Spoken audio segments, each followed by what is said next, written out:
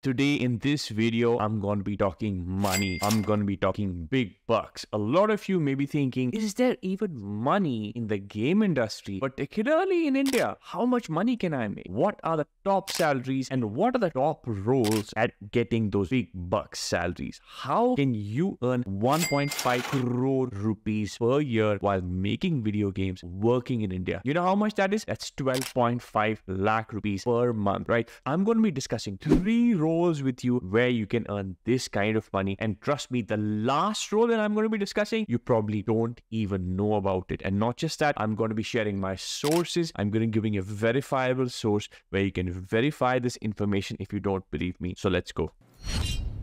All right, so role number one, high paying role is lead designers and design directors. So, what exactly does a lead designer do? Now, this is an interchangeable role because lead designer and design director can actually mean the same thing. It's just a title difference. You might know in several large studios, there are many, many game designers. There could be level designers, there could be mission designers, there could be systems designers, there could be UI UX designers, and all these designers have a lead designer, can also be called the design design director. This person comes from a design background. He's probably worked his or her way up from a game design role. He or she has reached the role of design director. Now, they also need to have some idea about the business of game because remember, at that stage, you got to be knowing not just working with the game you got to be working with the business because the games actually have to make money you need about 8 to 10 years of experience as a designer at the very least to reach this kind of role and these kind of roles are found in large game companies such as Zynga, EA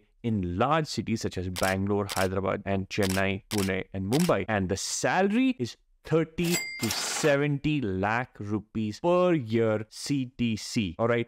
So this is 100% true and verified information. So that's the first role, lead designers and design directors. Now let's talk about the second one. The second one is lead programmers and technical directors. So, what is a lead programmer? As you know, in large game companies, you have several departments, you have several games in progress. There are many, many programmers, and these may have programming leads and there is a lead programmer or there is a technical director who actually heads all of these programmers he or she is in charge of making sure the, the games are right, they're technically perfect, and also they are in charge of the server architecture and also the platform. It's possible that the games may be built and put out on a platform. It's possible that there may be a custom engine which a game studio company may have. So the, the technical director is responsible for all of these things, supervising everyone, all the platforms, and all the tech of the company. Right? Once again, you need at least eight to ten years of experience to actually reach the this position. And of course, this position can be found in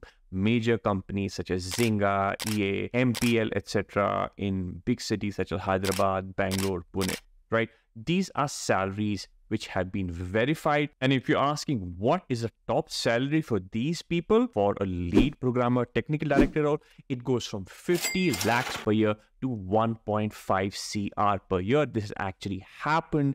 These are salaries which people have actually gotten in large companies such as MPL, EA, etc. in India. So it would definitely happens, right? But remember that this is not for small companies, this is not for startup, this is for established companies, but these kind of salaries are very, very much possible. And I'll tell you the verifiable source of this later on at this end of this video. All right, now lastly, let's talk about the top salary in the game industry in India. And these are roles which you've probably not heard of. These are lead product managers and executive producers. What does a lead product manager do? Firstly, let's talk about what a product manager is just. A product manager is in charge of the commercial success of a game. The product manager has an idea of game design. Product manager has an idea of the market. So they have a background in game design, game analytics, data analytics, as well as they know a little bit about the market. They know a little bit about the product. They have a mixture of all these skills and several companies, they may have several games, which is several products. They may have have several products in their portfolio. Each product, each game may have one particular product manager, and then the lead product manager is somebody who actually supervises all these product managers and all the products of the company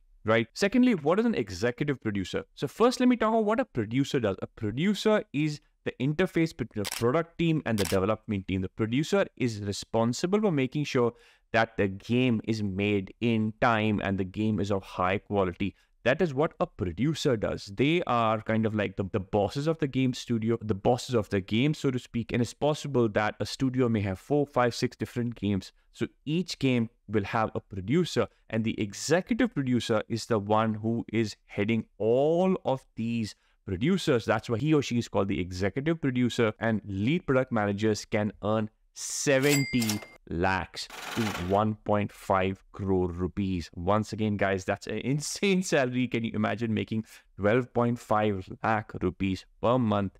Of course, this is before taxes, don't forget, but these are actual salaries. So for those of you guys who are wondering, well, is there is there actually money in the game industry in India? Can you make a good salary? Of course, for these jobs, you need to have eight years, 10 years of experience. But as you can imagine, if you're even a junior, all of these positions, you will still be earning really, really good money. So remember, guys, don't listen to people when they say, oh, there's no money in game development, you can't make good money. There is a lot of money if you're in the right role, you work hard, you get experience, and you advance well in the game industry. Promise you that. If you're wondering how you can actually reach these positions, how you can become a lead designer, or a design director or a technical director or an executive producer, Gamer to Maker is your answer. I am the founder of Gamer to Maker. Gamer to Maker is India's number one game school and it is the only government partnered game school in India. We have diploma programs for game design, game art, game programming, and so much more. So definitely check out our website. The link is in the description of the video. And now let me talk about the source of my information. So I am actually heading the careers track in the India Game Developers Conference. That's my job. I do it once a year and invite guests. So last year, I invited a really good friend of mine who is Joseph Cairns. Uh, Joseph Cairns is actually the CEO of Adventure Recruitment, which is an agency which is specifically for game development studios in India. So he really knows his info. His job is to actually find high level people and place them in game studio. That's his job. And I invited him last year to give a talk, and the link of the talk is in the description of this video. This is also based on my own research because people from Gamer to Maker are always joining. I have an idea of what salaries are because I'm in that network. So check out the video. This is all 100% legit information. So once again, don't worry about salaries. Just focus on your game dev careers. You can do it. I promise you, you can have a good life. You can have a good salary. You can do it. Let's go.